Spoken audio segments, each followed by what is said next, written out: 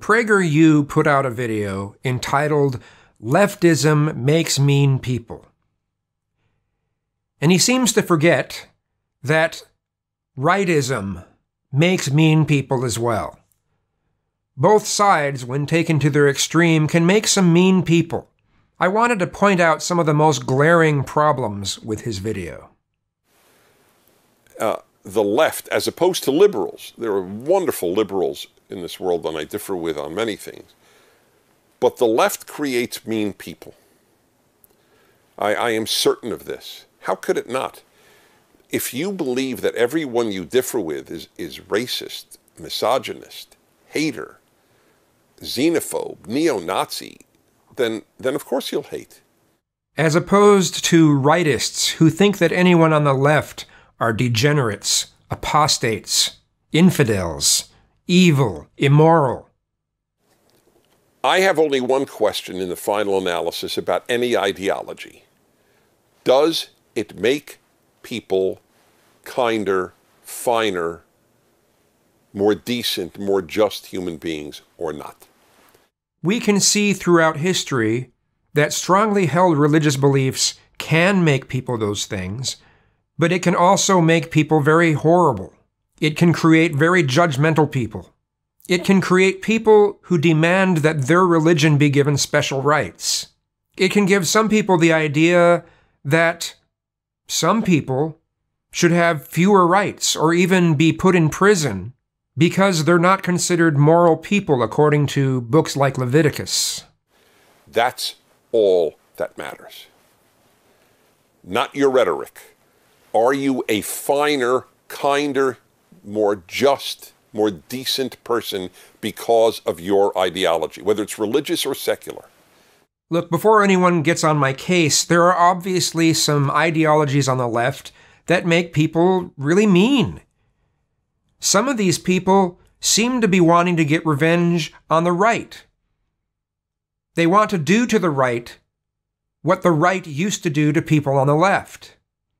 It's not right. It's, that's not the right course of action. Revenge is not the right course of action. What do I do to make a better world? I said, there has been an American and Judeo Christian answer through all of our history.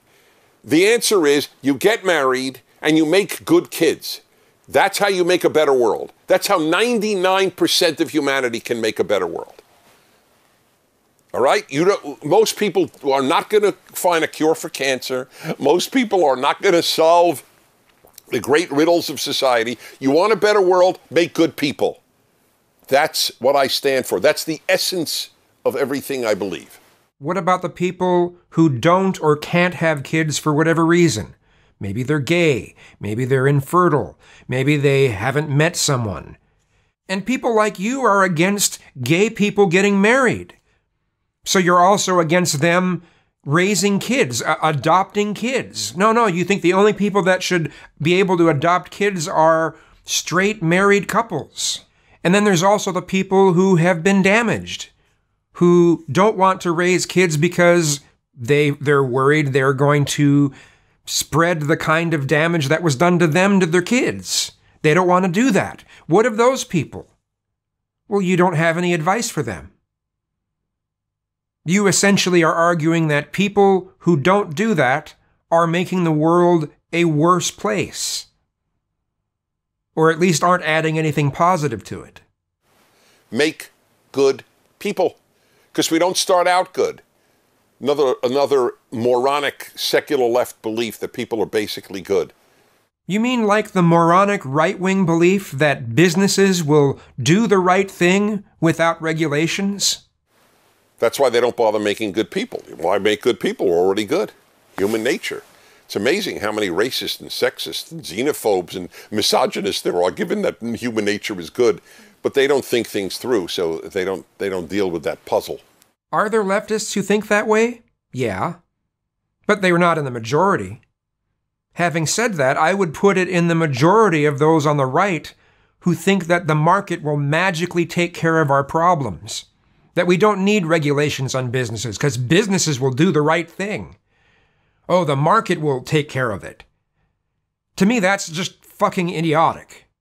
Uh, there is is there hope for the Democratic Party to move away from the far left ideologies? There is no hope. I disagree. If they spectacularly fail enough, they may actually learn something from those failures. And then they can move away from the far left. Until then, no, probably not. You're probably right. The whole center is taken up by uh, uh, contrary to what you will hear, it is taken up by conservatives. Conservatives dominate the center. So they have to move left to oppose uh, conservatives. They have to go, or, or Republicans, they have to go very, very far left. And they already have everything they want. They already got a gigantic government. That's the biggest desire of the left. It's already enormous, but it's never enormous enough. whenever the left makes a demand, please know it never will end with that demand. Who are you trying to kid? The right does the same thing. The right, if you give in to their demands, will soon have religious laws.